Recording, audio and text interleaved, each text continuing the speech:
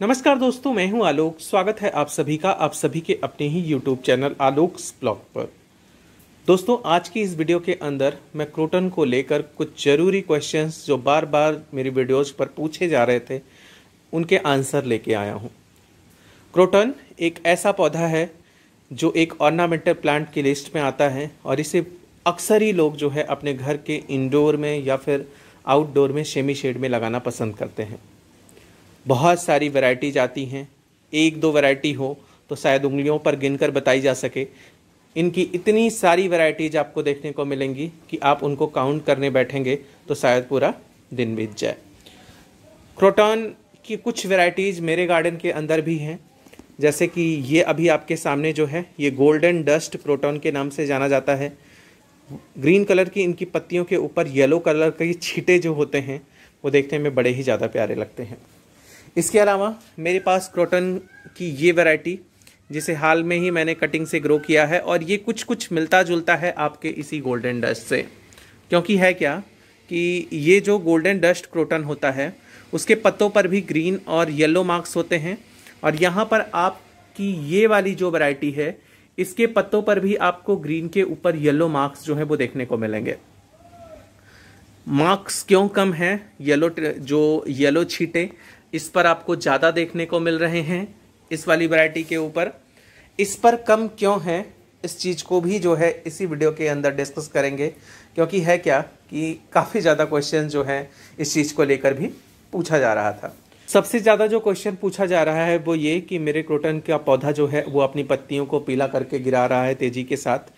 आ, बिल्कुल जो है पौधा मेरा जो है वो पत्तियों से खाली हो चुका है। मरने की कगार पे है। तो सबसे पहली चीज़ जो मैं आप लोगों को नोटिस करवाना चाहूँगा कि जब भी आप जाइए नर्सरी और वहाँ से आप क्रोटन का पौधा लेकर आइए तो मिट्टी सबसे पहले उसकी ज़रूर देखिए। मिट्टी है क्या कि ज़्यादातर आपको ये पौधे या तो चिकनी मिट्टी के अंदर लगे हुए मिलेंगे, बिल्कुल जो साबुन के जैसे चिकनी चिकनी होती है, या फिर आपको ये पौधे जो हैं लाल कलर की मिट्टी जो आती है पुणे वाली, उसके अंदर लग कर मिलेंगे। ये भी मेरी जो है, वो दो अलग अलग वैरायटीज़ हैं। इनके पत्ते बहुत ही ज़्यादा कलरफुल हैं और ये दोनों जो हैं, मेरे फेवरेट प्लांट हैं, मेरे गार्डन के अंदर क्रोटन के जो हैं। वैसे तो क्रोटन मेरे सारे बहुत अच्छे चल रहे हैं, मुझे सारे ही पसंद हैं, लेकिन ये दोनों बहुत ज़्यादा अच्छे चल रहे हैं। तो मिट्टी बहुत इंपॉर्टेंट है। मिट्टी आप जब भी जैसरी जाइए तो मिट्टी को चेक कीजिए। छूकर देखने पर, जैसे कि है क्या, ये रूट बॉल है। यहाँ पर ये गमले के अंदर की मिट्टी दिख रही है ऐसे ही रूट बॉल भी आपकी होगी। जैसे अभी आपको ये जो मिट्टी दिख रही है, इसको अगर आप इस तरीके से फोड़ेंगे तो ये हाथ में लगेगी नहीं। आप गिराने के बाद आपका हाथ जो है इस तरीके से साफ़ हो जाएगा। लेकिन जो चिकनी मिट्टी होती है, वो आसानी से आपके हाथ को छोड़ती नहीं है। और लाल मिट्टी को तो पहचानने में आपको कोई दिक्कत होगी ही नहीं।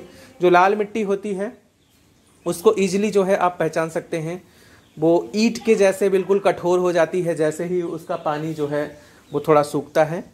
और अगर ज़्यादा पानी आप दे देते हैं तो वो जब ओवर मॉइस्चर को होल्ड कर लेती है तो वहाँ पर भी समस्या आती है। लेकिन अगर ये समस्या आपको हो रही है कि आप नर्सरी जा रहे हैं बार बार और जो है आपको मिट्टी वैसे ही मिल रही है पौधों के अंदर तो आप मजबूरी है आपको पौधे का लेना।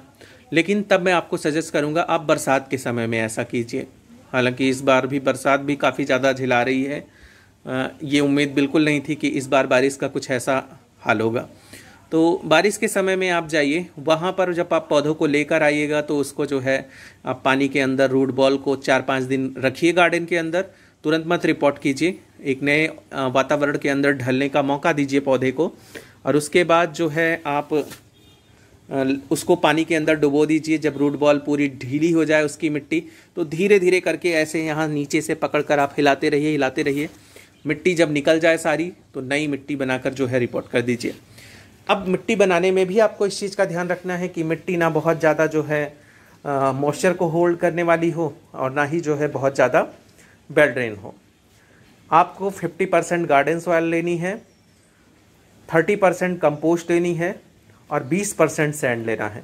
50, 30 और 20 का रेशियो लेकिन अगर आपके यहाँ की मिट्टी को ज़्यादा ही चिकनी हो मतलब चिकनाहट मिट्टी के अंदर ज़्यादा हो तो आप वहाँ पर 40 परसेंट गार्डन सॉयल लीजिए थर्टी परसेंट आपकी सैंड लीजिए और थर्टी परसेंट कंपोस्ट मिक्स कीजिए।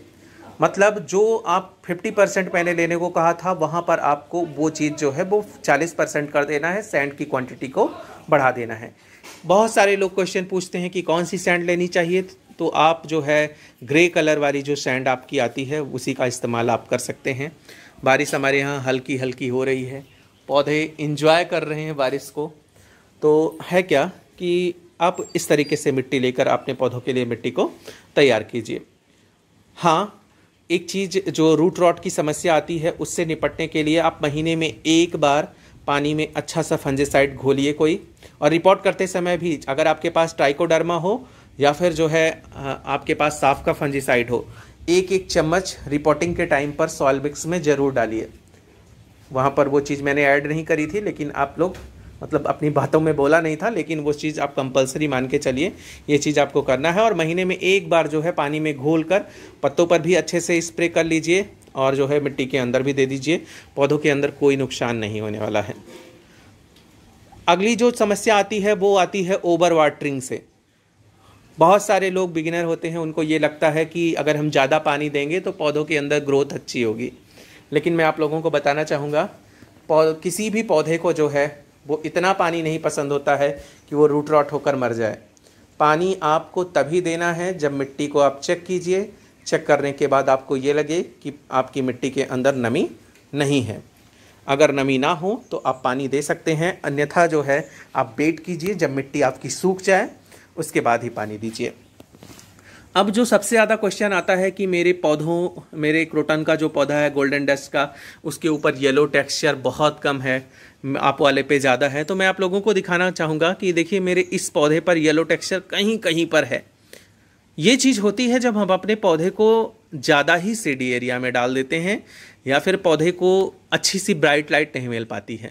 अभी मेरे ये पौधे चूँकि छोटे थे और गर्मी हमारे यहाँ बहुत ज़्यादा तेज़ थी, धूप खूब तेज़ हो रही है, एकदम झुलसाने वाली धूप हो रही थी तो मैंने इसको स्टैंड पर ऊपर जो है वो थोड़ा शेडी पोर्शन में डाल दिया था और उधर ग्रीन नेट भी लगी हुई थी तो इस वजह से जो है धूप छन छन कर ही इसको मिल रही थी। इस वजह से इसको, इसके ऊपर येलो जो कलर है, ये कम आया है। तो पत्तों का जो कलरफुल नेचर है, वो आपको क्रोटन के अंदर किसी अन्य चीज़ से नहीं मिलेगा। सिर्फ़ लोकेशन आप इसकी जो है, वो ना बार बार चेंज कीजिए और ना ही बहुत ज़्यादा शेडी एरिया में रखिए। मतलब आपको ऐसी जगह पर रखना है जहाँ पर अच्छी सी ब्राइट लाइट इसको मिले पूरे दिन की।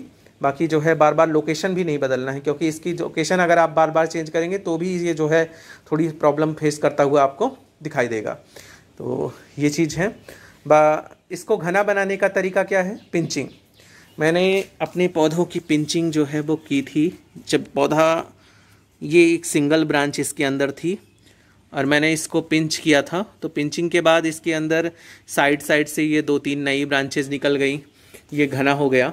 यहाँ पर भी देखिए कई सारी नई ब्रांचेज निकल गई।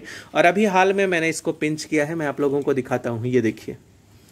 ये इसका इसका पिंचेज जहाँ से मैंने पिंच किया है, वो वाला भाग है। और फिर देखिए साइड से कितनी सारी नई ब्रांचेज एक दो, और नीचे से भी तीन मतलब कई सारी नई ब्रांचेज इसके अंदर निकल आई। तो पिंचिंग करके घना बना सकते हैं, इसके लिए भी कोई खाद देने की ज़रूरत नहीं है। बाकी इसके फर्टिलाइज़र के ऊपर भी मेरी अलग से वीडियो है, वो आप लोग जाकर देख सकते हैं। फर्टिलाइज़र में आपको कुछ नहीं देना है। एक बार आपको जुलाई में कंपोस्ट देना है सॉरी फरवरी, मार्च में देना है, एक बार जुलाई में देना है, और एक बार सितंबर में। बाकी लिक्विड फर्टिलाइज़र जब आप अपने बाकी पौधों के लिए बनाइए तो इसको भी देते रहिए।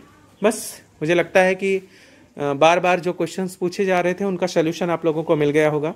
कैसी लगी आपको मेरी ये वीडियो कमेंट करके ज़रूर बताइएगा। ऐसी ही किसी नई वीडियो नए अपडेट के साथ मिलते हैं किसी नेक्स्ट वीडियो में। तब तक के लिए बाय एंड टेक केयर